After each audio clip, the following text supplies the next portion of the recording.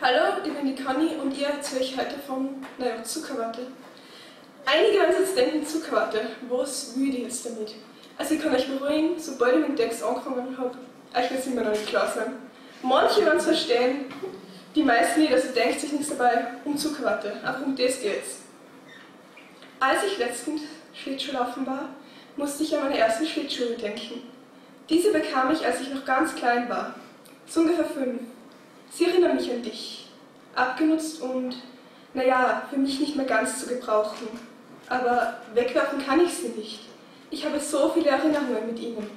Gute, aber auch schlechte. Als ich sie zum ersten Mal anzog, bemerkte ich, dass sie drückten, aber dass sie so schön aussahen, versicherte ich, dass sie mir perfekt passen. So war es auch mit dir. Den Schein nach war sie perfekt, doch als ich dich kennenlernte, bemerkte ich sofort die Macken. Aber ich ignorierte sie. Du, du bist meine erste Gitarre. Als ich sie zum ersten Mal sah, verliebte ich mich schon ein wenig in sie. Jetzt, jetzt ist sie kaputt und nur stählerne Fäden verhindern, dass sie auseinanderfällt. Als sie zerbrach, war ich am Boden zerstört und habe womöglich auch die eine oder andere Träne vergossen. Und jetzt, jetzt habe ich eine neue, denn sie ist austauschbar, genau wie du. Du, du bist wie eine Wolke. An heißen Sommertagen beschützt du mich von den Sonnenstrahlen. Du sorgst dafür, dass mir nicht gleich alles unter die Haut geht. Doch an eisigen Wintertagen versperrst du mir auch die Sicht auf Licht. Du lässt mich frieren in der dunklen Welt, obwohl ich einst dachte, du wärst derjenige, der mich vor all dem beschützt. Aber gleichzeitig bist du auch der Sonnenstrahl. Du gehst mir unter die Haut und du flutest meinen ganzen Körper mit Licht. Du bringst mich zum Scheinen. Doch ich fing an zu bemerken, dass ich daran verbrenne. Nun treffe ich Vorkehrungen, trage Schutz und merke, dass ich nun nicht mehr verbrenne dass meine Haut nicht mehr prickelt, wenn du in der Nähe bist. Und ich vermisse das Gefühl ein wenig. Genau wie dich. Meine Freunde verglichen dich immer mit deiner Droge. Das verstand ich nie. Ich verteidigte dich und erzählte von all deinen guten Seiten. Deine Macken, die sie nicht einmal kannten, verschwieg ich natürlich. Jetzt verstehe ich, was sie meinten. Du machst süchtig. Egal was du machst, irgendwie brauche ich dich doch. Obwohl ich bemerkt, dass ich daran zerbreche. Ich konnte nicht ohne dich leben und irgendwie musste mir bewusst werden, dass du mich umbringst. Natürlich nicht mit Absicht. Naja, das hoffe ich zumindest. Du, du bist wie eine Seifenblase.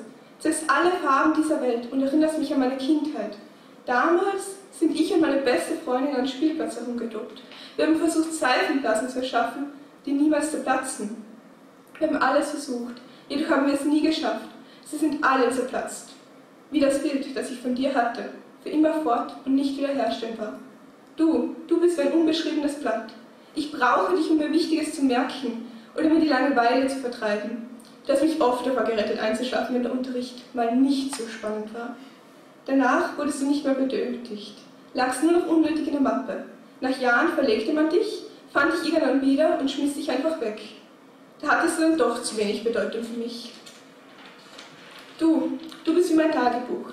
Wenn es mir mal nicht gut geht, schreibe ich all das hinein, nur um wieder klar im Kopf zu werden. Nach einem schönen Erlebnis ist das Erste, was ich machen will, alles gleich aufzuschreiben.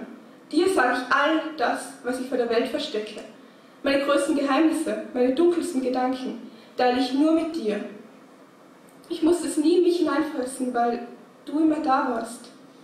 Erst vor ein paar Tagen fand ich mein altes Tagebuch wieder. Ich belächelte mein jüngeres Ich. Oder nein, eigentlich verurteilte ich es. Ihre Probleme waren so banal und bei der Seite, wo sie anfing, von einem Jungen vorzuschwärmen, musste ich wirklich abbrechen. Ich frage mich, was genau ich mir damals wirklich dachte, aber verstehen werde ich es wohl nie wieder. Bald werde ich mir wieder ein neues anschaffen müssen und in ein paar Jahren lache ich über mein jetziges Ich. Es wird mir unwichtig erscheinen, genau wie du. Du, du bist wie Alkohol. Zuerst denkt man, du bist lebensnotwendig. Ein Wochenende ohne dich, unvorstellbar.